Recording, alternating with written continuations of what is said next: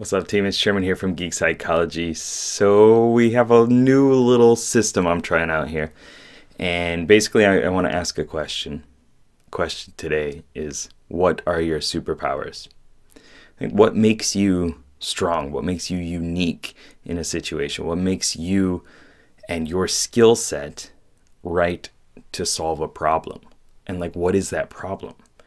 So here we go. This is my story, but I want to go through my own version of it, a couple of the different things that I feel um, good about myself, and then kind of how those are are superpowers, how those are strengths of mine. And then I want to hear yours in the comments.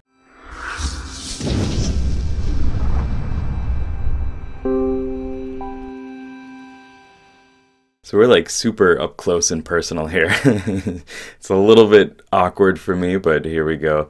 Um, so with within my skill set, um, as an INFP and just as myself with my experiences, I do want to try to tailor this to the the personality type realm of things. But I think that um, one of my big strengths, something that I bring to a situation, is my conscience.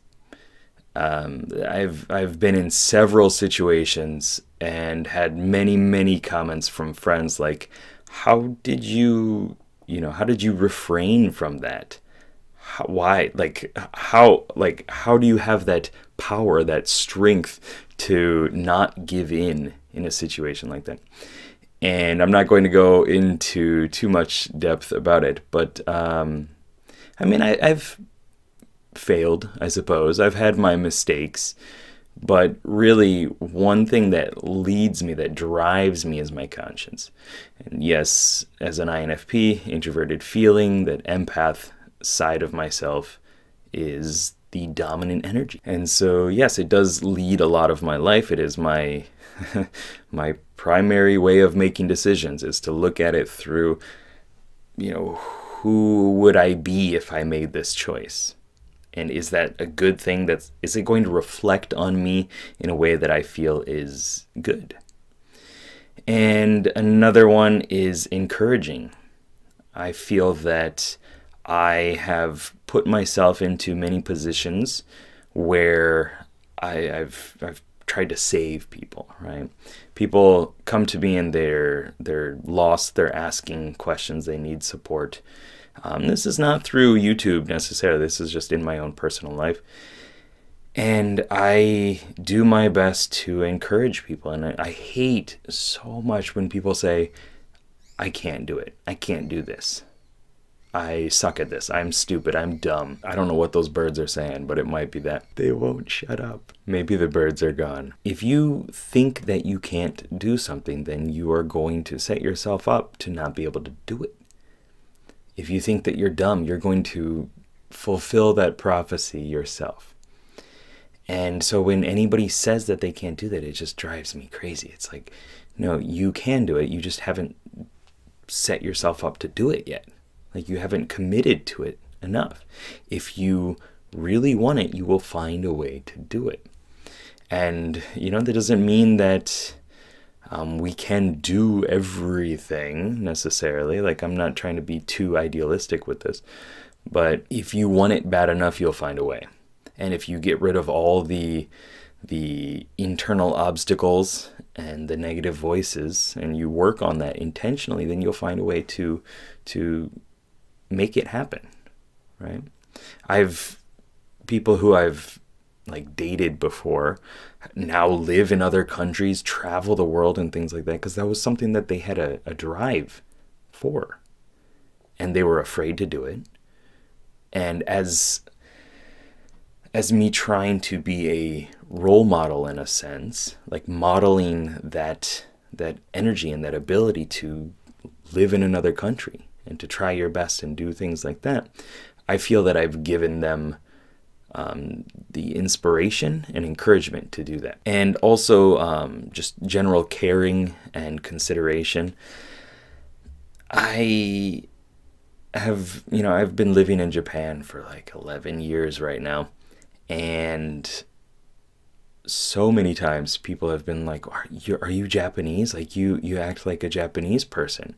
And what they're they're trying to get at when they're saying that usually is that i am not extremely loud and overwhelming in any way right? And also like i'm i'm generally considerate of the people around me. Like i don't want to cause harm to somebody else right? I don't want my actions to um, displace somebody else, especially physically. Like I, I hate cutting people off, like walking in front of them and stuff like that. Like I'm always waiting for them to go by, you know, if I think that would make things better for them, because that's what I would want if I was in that situation. And yeah, I think anybody can have that skill, but I do feel that introverted feeling has um, brought some of that to the table because I'm constantly trying to put myself into another person's shoes, another person's position, and say, like, well, if I had this happen to me, then I would want somebody to do this for me.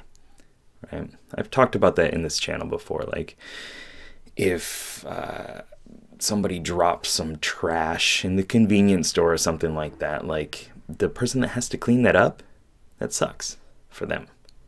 Yes, that's their job. But why would you why would you say that? And then let it just happen. Like if you had that job for whatever like string of events that brought you into that position, then you would want somebody to have some consideration for that as well. Also, forgiveness. Um, I feel that I am extremely forgiving for most things. Like if somebody does something that's that's harmful, um, I generally try to trust that they have the best intention with their motives like that was what they thought the best choice was in their situation. And so I'm likely to give them another chance. And that's that's come at some detriment as well. Like I've given people too many chances and I've been kind of walked over for that. And you know, I've been in danger. Like I've had my life threatened.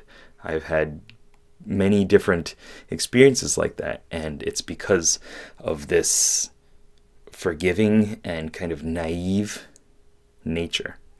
But I want to look at it on a on a bright side, right? Like the ability to just be like, no, I, I've I could see how I would do that if I were in a similar position, and I will let it slide, right? It does. I'm not necessarily as forgiving with myself, but uh, that's another another video, I suppose. And um, general idealistic nature it's an NF thing, I suppose.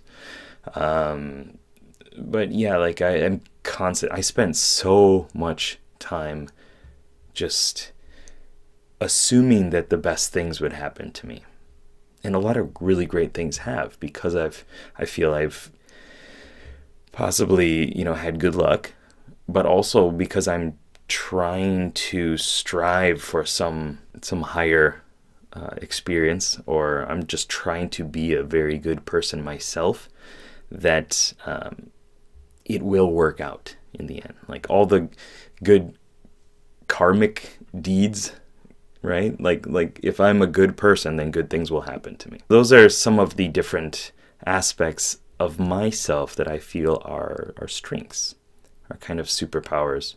Sure i'm not talking necessarily about like shooting lasers out of my eyes although I can do that, um, it's just like these are the things that uh, I feel are important to know about me, and especially I, I do feel that INFPs in general probably have a lot of this. We all have our different blends, our different mixes of this um, cognitive cocktail, but um, I do I think that a lot of us would share these these labels, these tags, these superpowers, whatever you want to call them. So how about for you? What are your superpowers? What are your strengths? What if someone were to ask you to describe yourself and give a few key words, what would they be? What can you be proud about yourself about? Like, you know, like this is something that I bring to the table here. Like if the group is is lacking a conscience for whatever reason, like I'm I'm gonna be the one that's in there and that's that's saying, no, this is not something we should do. Right? I'm not going to bring other skills, and that's fine. Like we all have our abilities and our strengths and our weaknesses that we bring to the party, the the team, whatever it is. So down below in the comments, if you could, um, if you could write your type just because it might, you know, other people from that type might resonate well with it. And then a list of maybe a couple words that you really feel resonate or make sense for you as your strengths, your superpowers. And if you really want to do it, like like I've done it on the website and stuff, um, you can you can get super geeky on it and bring out the games and stuff like that too. That's fine. That's honestly that's what I would prefer in a lot of ways. But uh, you don't have to do that. It's up to you. All right. So, good luck, have fun. Keep up the lifelong questing. Peace.